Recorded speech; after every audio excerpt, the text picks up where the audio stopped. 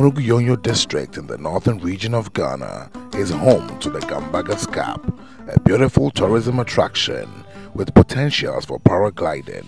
It is also home to a beautiful waterfall and the guest house of the first president of Ghana, Osagyefo Dr. Kwame Nkrumah. The area has a climate relatively cool and moist, allowing for the cultivation of grains, yams and livestock.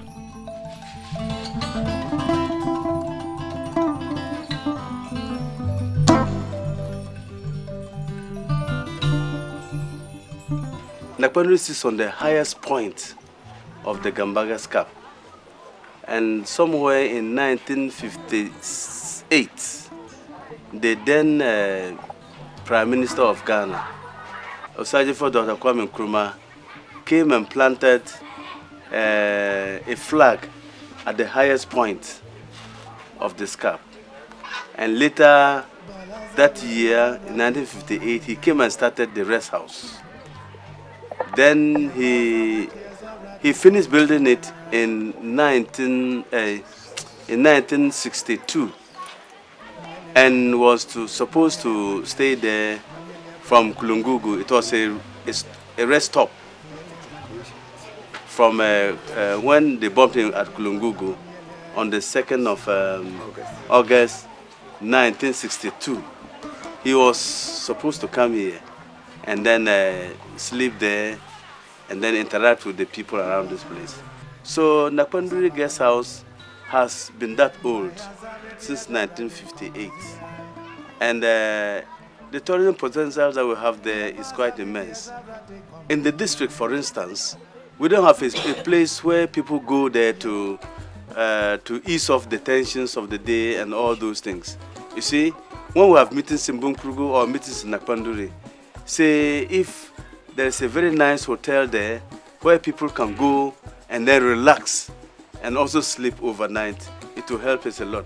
You have seen the waterfalls. We can further polish it up for people to come over there in the evenings and rest and then uh, have a look at nature. It was during the 56 that uh, the road uh, started and we met these uh, waterfalls and it has been a tourist center. People from Germany, all over the world, they come here, that they are coming to Nakpanduri's Scarp. Like uh, you having a wedding, picnic, you come here to observe the place. And there was like uh, something like a sea breeze. It was nice. The whole area was green. Naturally, the whites enjoyed coming here. In the rainy season, you see water falling and people even come to sit down, take pictures of uh, the, the scarp. If there could be, be a way of re-innovating the place to put some structures like uh, maybe, like uh, you get to Tema uh, beach area, you put some structures, make some bars for people, when they come this way to, to, to see, they will sit down to relax there. Just like uh, they are saying the Eastern Corridor uh, the Eastern Corridor route coming.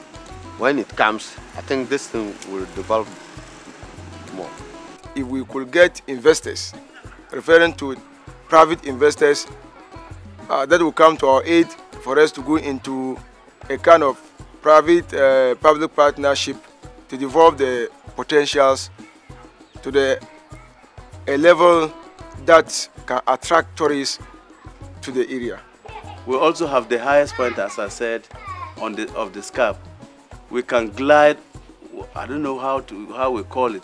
One tourism can come over around maybe Christmas or Easter, and then they'll come and then they will parachute down the scarp, and it will be such a nice place for people to see. But there's another spot where uh, during the slave trade, people could go there and take shelter.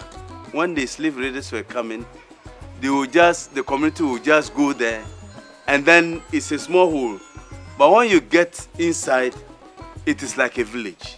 If uh, private individuals can come from elsewhere if investors can come from elsewhere and look at the place and then uh, shape it to the taste of uh, uh, tourist attraction it will be fantastic. I will wholeheartedly welcome it. Each community um, and its leaders be traditional cultural political leaders leadership need to come together and think through how they promote what they have for themselves because ultimately they are the first beneficiaries of that resource before it will trickle down to the rest of us. With the coming of tourism will come alongside uh, other structures that will serve our schools and clinics for people to attend.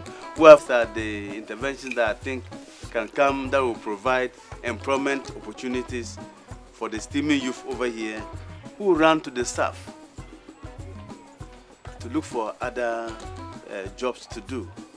Also, if uh, the, the, the, White Volta, the, the, the, tributary of the White Volta, if let's say we could uh, put a, a, a, a, dam there, it can provide a lot of employment opportunities for the youth in the area of agriculture, irrigation, they can do dry season farming, and that will help us a lot. You can't expect the, the ministry to do all of, of all of the things that uh, we're talking about. I think private sector um, needs to perhaps be more accessible and, and take advantage of what is available. We are not looking at business opportunities through the activities that we have. We, we don't do that. We, do, we, we see them only as entertainment. And so we go to experience it and walk away without seeing what business opportunities are in there for me. We know the government is doing well. The government cannot develop the whole country at a, at a go. But when uh, they begin to put these things in place, these tourism attractions, uh, uh, uh, tourism centers, if they are developed, somehow they'll be spreading the national cake gradually to cover the rest of the uh, downtrodden districts like the Bunkpurugu district. If each of us at every festival manage to organize 10, 15 people in our social circle to come along to our communities and not be ashamed of what we have in our communities, even when you don't have anything yourself. There's something, there's a natural resource there that you must want to show off. Because I don't have that in my community. Can you imagine what that will do, the ripple effect of?